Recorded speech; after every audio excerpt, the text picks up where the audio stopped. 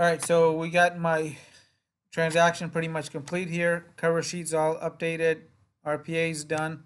Now we're gonna go and send out documents to the buyer to sign. So we're gonna click right here. And we're gonna hit the plus sign. And I'm gonna go ahead and choose my, uh, my documents that I'm gonna attach. First thing's gonna be the RPA, additional agent, market advisory. This property has a homeowners association, so I'm gonna attach that advisory there. And we're gonna put the COP, which is the contingency that the buyer has to close on their property. And lastly, we want to attach one other one, which is gonna be this SBSA, which is the statewide buyer and seller advisory. But we want that to be last. Uh, this document is very long and with digital ink here, it automatically fills in where they gotta sign, so I don't have to go through numerous pages. So we're gonna call this offer for Duck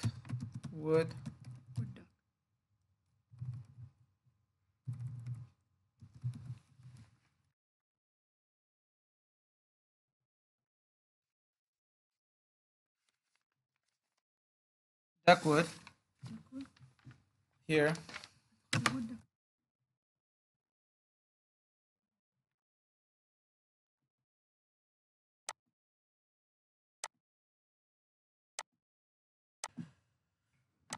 And lastly, we want to go ahead and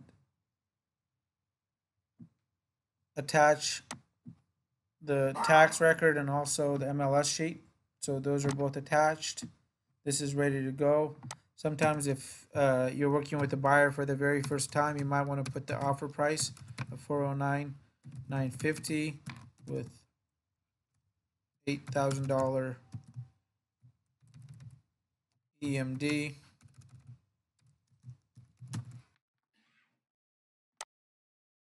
We're gonna go ahead and hit next.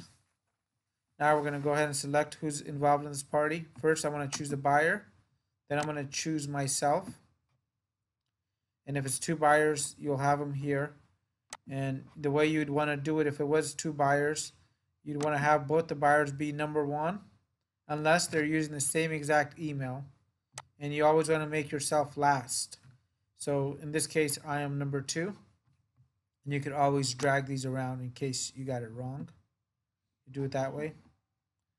Now we're gonna go ahead and hit next.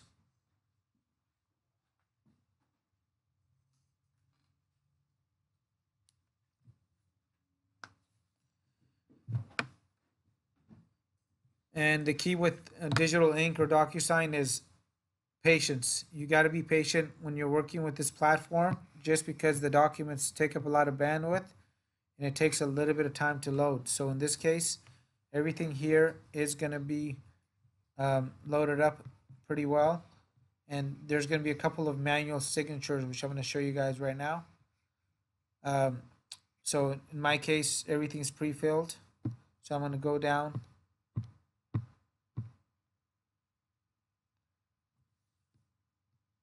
and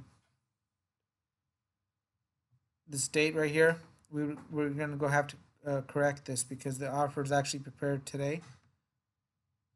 All right, so we went ahead and corrected the date. You have to exit out of this transaction, change the form, and delete the form and reload it if you want to just resume this. So everything else here looks good. 25 days or sooner. And we'll get everything else correct on here. 17 days on the loan. Man, I love For- this. This is better than appraisal. giving a whole packet to somebody. Mm-hmm. And Technology nowadays. we got Kenny in the background on here. All the, uh, all the forms are attached. property ID or JCPs requested with environmental and tax. 50-50 split, First American title. And we're gonna go into here, we got all stoves. This house is not occupied, uh, right here by the seller, so we're not gonna have to really worry about this, but if it was occupied and the TV was mounted on the wall, you definitely wanna check this off. If you got an investor, you wanna check off this box right here if they're not gonna live inside the house.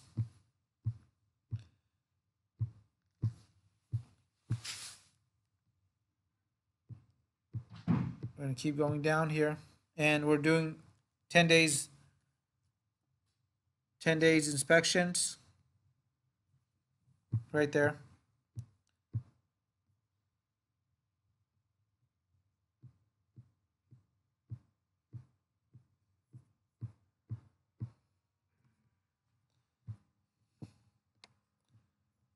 You know, Daisy's back. So we got everything filled out over here. Their brokerage information is listed.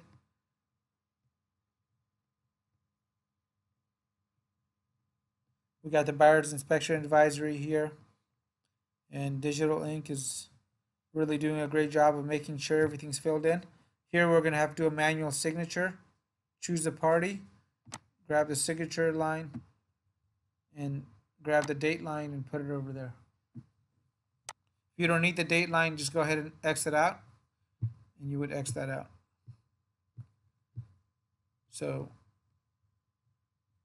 MCA or the market conditions advisory. We got the date. The date is correct.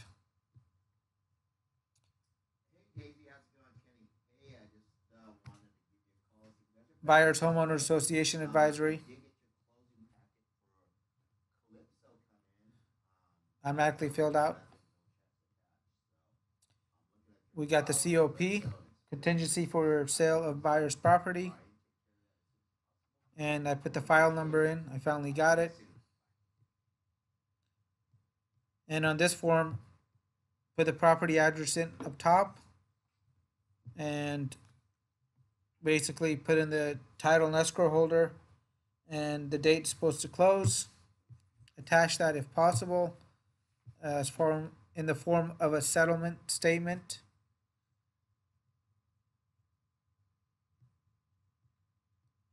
And we need a manual signature here from the buyer. I will X out of the date.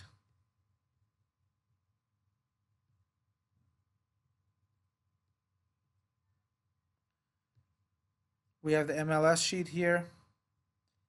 So I want the buyer to see any notes that I see, especially if there's something funny on the back end, if there's been a um, any kind of incident at the property, we just want to disclose it right up front. And the HOA information is right here. It's five hundred eighty dollars a year, and includes the management, common areas, rec facility, and the swimming pool. And we're gonna keep going down and this is a statewide buyer and seller advisory and this thing is very very long as you can see it's sometimes 14 pages currently and just scroll down to the bottom over here. Everything's going to be pre-filled in and we're going to hit send. And we want to go ahead and update any notes here.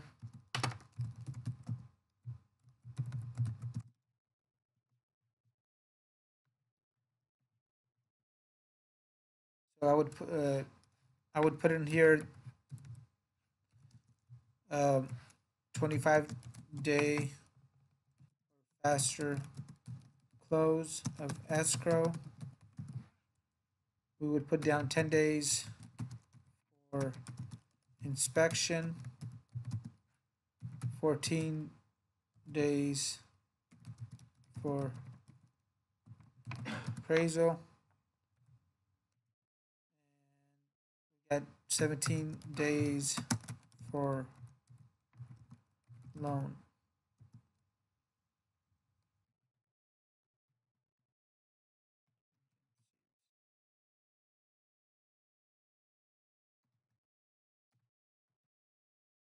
So this is it. We're going to go ahead and hit send. Wait for it.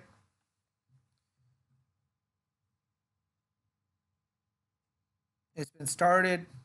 And the best part about it is you can come back in here and check who's accessed this file in case uh, you're waiting for somebody to get back to you and you want to confirm that they received it. It will let you know once they sign in right on here.